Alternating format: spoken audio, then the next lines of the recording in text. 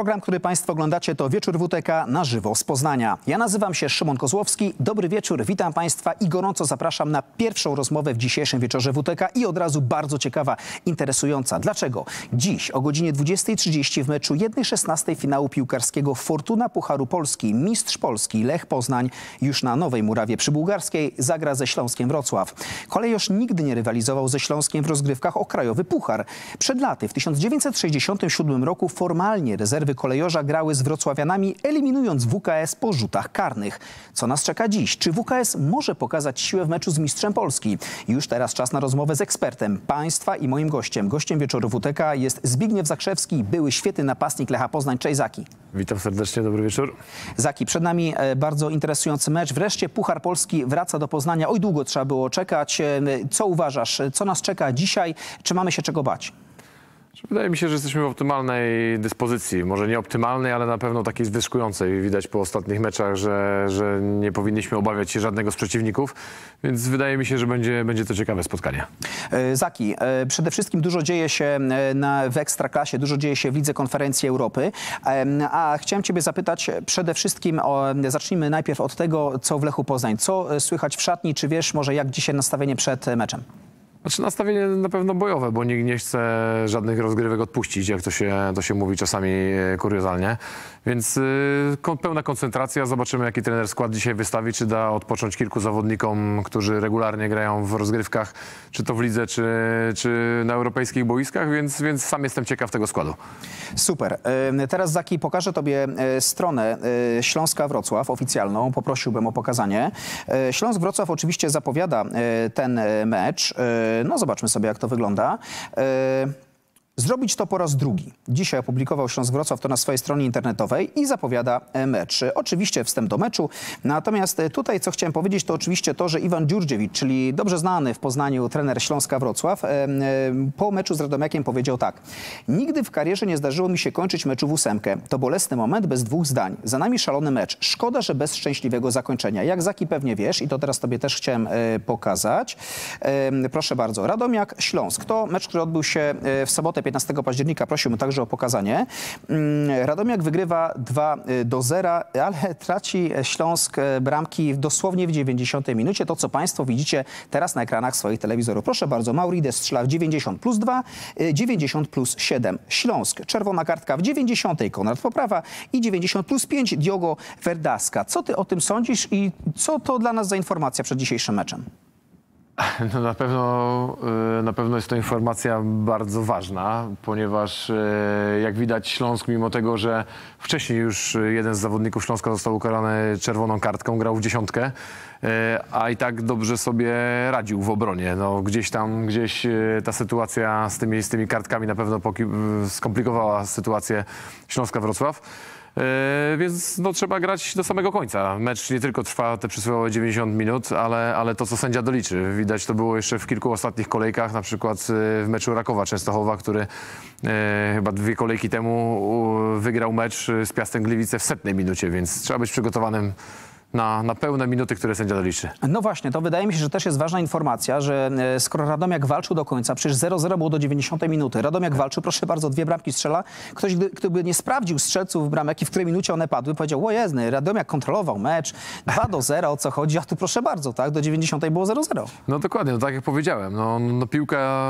mecz trwa tyle, ile, ile sędzia doliczy i do momentu nieskończenia tego meczu, więc, więc trzeba być skoncentrowanym. No, pamiętamy ten nieszczęsny nasz mecz tutaj ze Śląskiem e, na początku, na początku rundy, gdzie, gdzie Śląsk wywoził punkty i, i myślę, że to zapadło w pamięć zawodnikom i, i do tego meczu pucharowego przystąpią na pewno bardziej skoncentrowani. Zaki, chciałem tobie coś pokazać. To, co teraz zobaczysz i państwo oczywiście jak najbardziej też, e, to jest statystyka e, z meczu właśnie Radomiak-Radom-Śląsk-Wrocław. E, Spójrzmy, jak Śląsk wyglądał w tym e, meczu, który został rozegrany dosłownie trzy dni e, temu.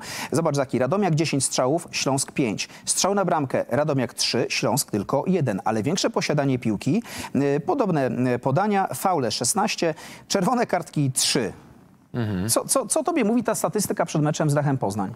Na tle Radomiaka, którego my pokonaliśmy przecież y, też bardzo niedawno. Dokładnie, dokładnie. No tutaj patrz, patrzymy, że, że posiadanie piłki jest, jest po stronie Śląska Wrocław, czyli, czyli próbowali grać w piłkę, próbowali utrzymywać się, konstruować te akcje.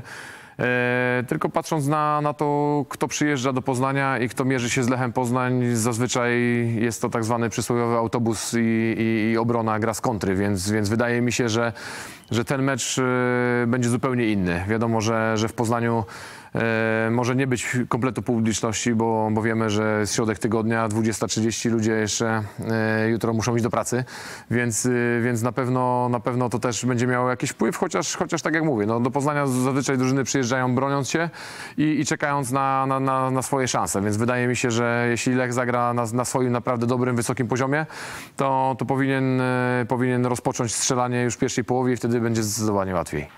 E, No właśnie, cze- czekamy, czy, czy, kiedy ten worek z bramkami się dzisiaj e, rozwiąże, ale oczywiście musimy też e, powiedzieć dwa słowa o rozjemcy dzisiejszego meczu i tu bym prosił także o pokazanie, bo pokażemy Państwu także zdjęcie, to także ze, ze strony Śląska Wrocław. Proszę zobaczyć, czy poznajecie Państwo tego pana? Myślę, że wszyscy kibice w Ekstraklasy kojarzą, po- ponieważ arbitrem będzie Tomasz Musiał, który poprowadzi dzisiejsze spotkanie. No i zobaczmy, 41-letni Tomasz Musiał został desygnowany do poprowadzenia spotkania 1-16 Pucharu Polski z udziałem Śląska Wrocław, no i oczywiście także Lecha Poznań. Co ciekawe, pokazał 41 żółtych kartek oraz dwie czerwone. Co, za, co poza tym, e, zobacz Zaki, pełna obsada, e, pełna obsada sędziowska to sędzia główny Tomasz Musiał, ale widzimy coś bardzo ważnego, co, za co chcecie też zapytać, a może to podświetlę tutaj e, też dla ciebie, żebyś wiedział o co mi chodzi. VAR, to dokładnie jest, to jest to, co chcę pokazać. VAR jest w Fortuna Pucharze Polski, coś Zaki, czego zabrakło bardzo w Lidze Konferencji w ostatnim meczu.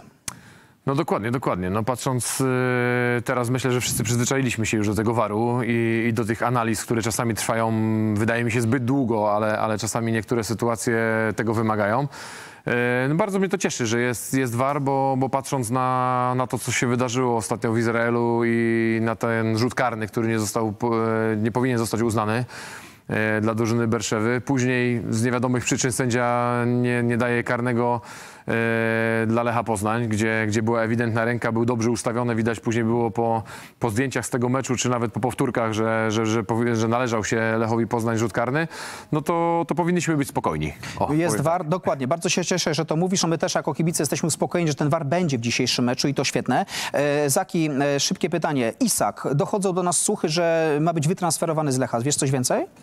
Znaczy, no takie słuchy gdzieś tam krążą, krążą po, po, po stadionie. Wiadomo, że Mikaelowi kończy się umowa i, i może, może zmienić e, klub.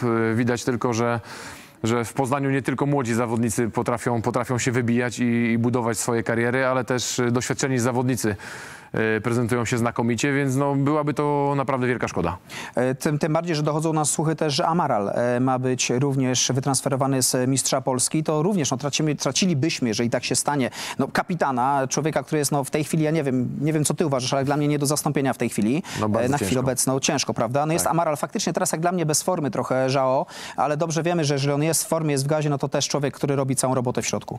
No dokładnie, dokładnie. No, gdyby miały te dwie, te dwie postacie odejść z klubu, byłoby na pewno bardzo ciężko. No, myślę, że włodarze, że jestem przekonany o tym, że włodarze robią wszystko, żeby, żeby z tych zawodników e, zatrzymać przede wszystkim Iszaka. Jeśli chodzi o Amarala, to też bym był spokojny. No wiadomo, że ten początek tej rundy nie był, nie był zbyt udany w jego, w jego wykonaniu. Też wiemy, jak, jak, jak czasami medialne, zawirowane, jak gdzieś tam e, się, w- się wkradają i no, liczymy na to, że, że obydwoje z, z zawodnicy zostaną. Za jaki wynik dzisiaj?